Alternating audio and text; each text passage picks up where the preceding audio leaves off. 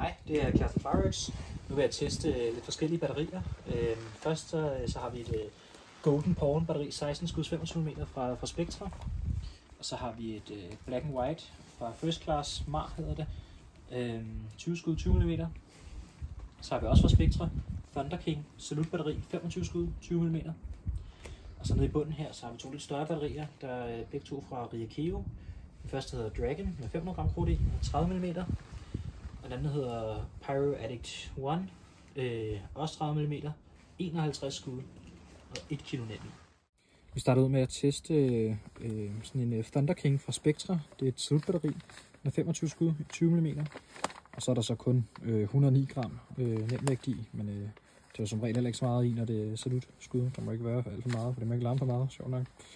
Men ja, lad os se, hvordan det kører.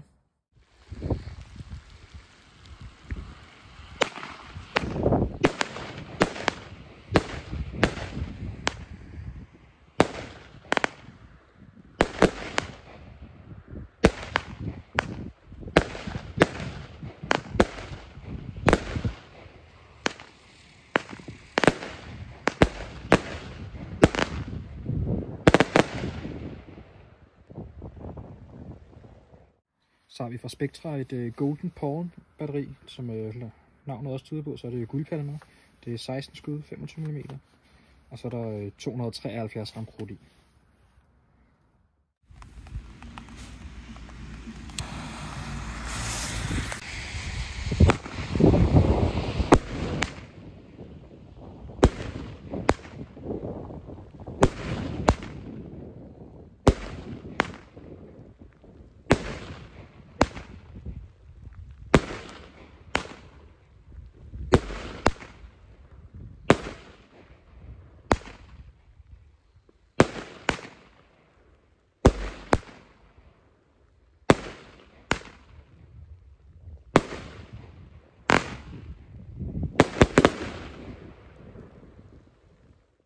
Så har vi fra øh, First Classes øh, Black and White serie Mar 20 skud formstøbt batteri.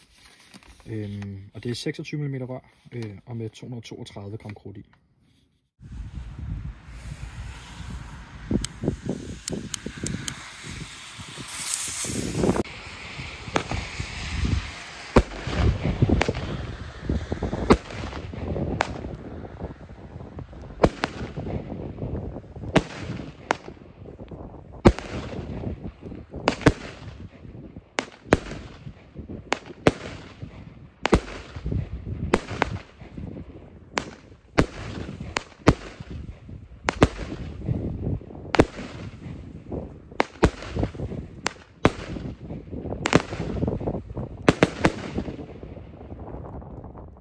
Så tester vi øh, fra Riakeo Dragon. Den har 20 øh, skud med 30, i 30 mm rør med 499 gram krudt i.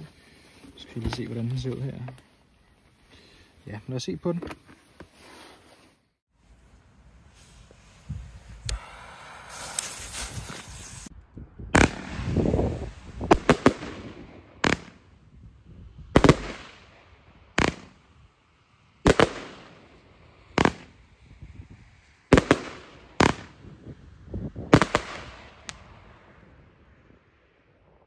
Her til sidst så tester vi så øh, også fra Riakeo Pyro Addict 1.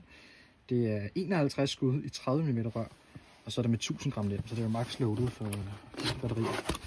Og så kan vi lige se her, hvordan det, det ser ud.